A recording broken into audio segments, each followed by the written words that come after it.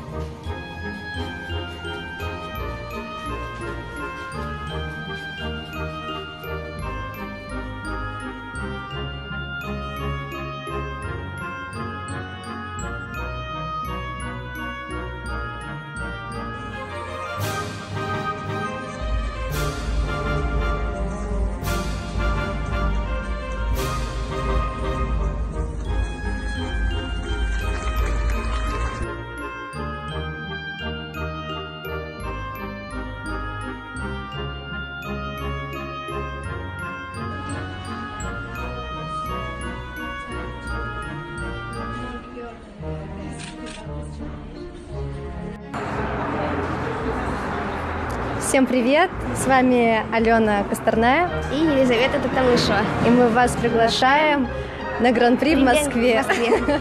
Приходите, там будут выступать одни из лучших фигуристов мира. Болейте за наших и не за наших, за всех болейте. Мы вас ждем, будет круто. Круто будет? Будет круто. Да.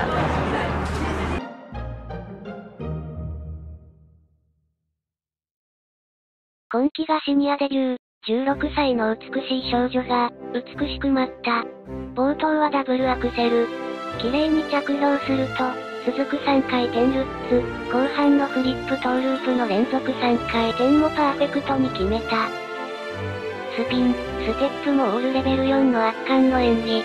トリプルアクセルを決めたエリザベータ、プクタミシェは、ロシアの得点を5点近く上回る77.25点はキヒラリカ、アリーナ、ザギトは、ロシア、プクタミシェはに次ぐ、歴代4くらいの好記録だった。